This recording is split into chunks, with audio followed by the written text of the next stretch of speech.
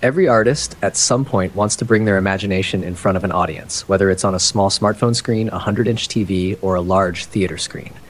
Today, everyone has technology literally in the palm of their hands to do anything.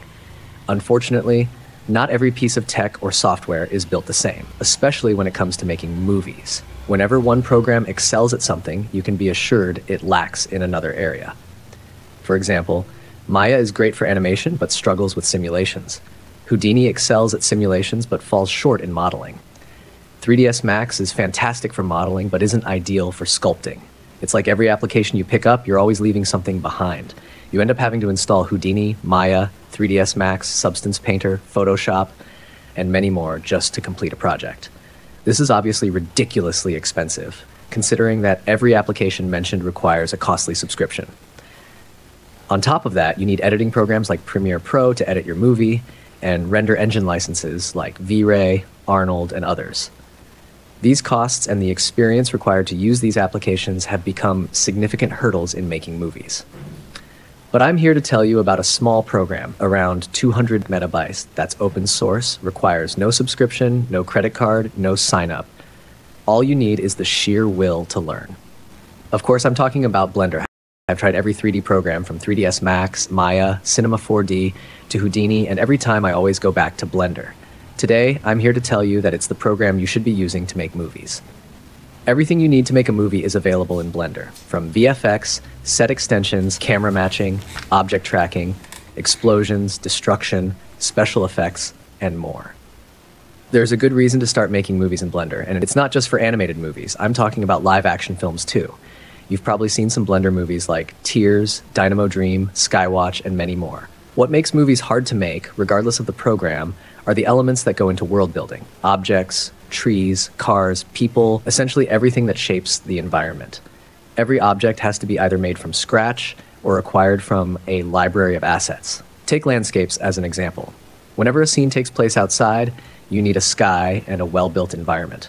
While creating these environments yourself would be fantastic, it's simply too much work, especially since they aren't the main focus of your movie. Tools like True Terrain, Gaea, and World Creator have been used for ages by different artists to craft amazing worlds. Their procedural nature allows a level of customization that makes your creations feel authentic to your vision. Because Blender tries to be a jack of all trades, it ends up being a master of none. This isn't a limitation, it's a feature. Blender gives you a starting point for everything, allowing you to build other tools to enhance it. For instance, Blender includes support for HDRI images and a physical procedural sky, sufficient for most renders. However, if you desire more detail, there are multiple ways to enhance the sky texture in Blender. The new volume shaders make it super easy to add clouds, volumetric fog, shadows, and dust. For even more detail, add-ons like Pure Sky Pro provide control and detail on par with Unreal Engine or other software. While the growing number of Blender add-ons may seem overwhelming, the diversity and range of capabilities they offer are invaluable to the community. Almost every Blender artist is now somewhat of an add-on developer, ensuring that whatever you need, Blender has it. For example, the Simply Cloth Pro add-on brings functionalities similar to Marvelous Designer into Blender, Without these daring developers, such features would take ages to reach Blender, often gatekept by big corporations like Adobe, Autodesk, and others. Since the Blender Foundation is a registered company, they aren't as daring as individual artists. Things like Auto Painter AI, an add on for generating 3D models directly inside Blender, would never be made by the Foundation because they won't touch anything with AI in its name due to the backlash they would receive. But AI is a monster we have to live with, and either we adapt or die. The Auto Painter add-on makes texture painting remarkably easy. It gives you a completely painted model in just a few seconds. You can refine it to make it better or use it as is because it already looks great. Imagine how much time this can save you.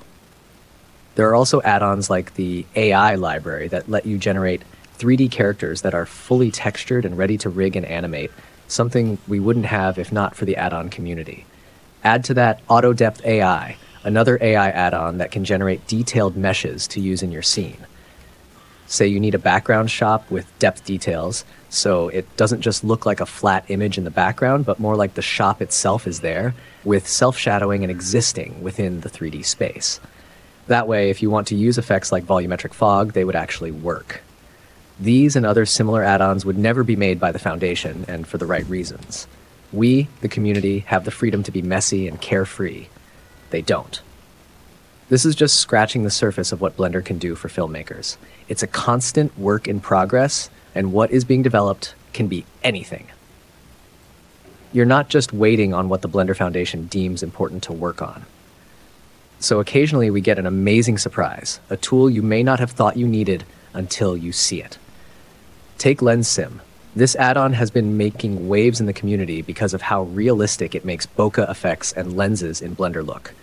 I bet most of you didn't see anything wrong with the default bokeh until you saw the LensSim video. That's how amazing Blender is. Every problem is being solved in real time.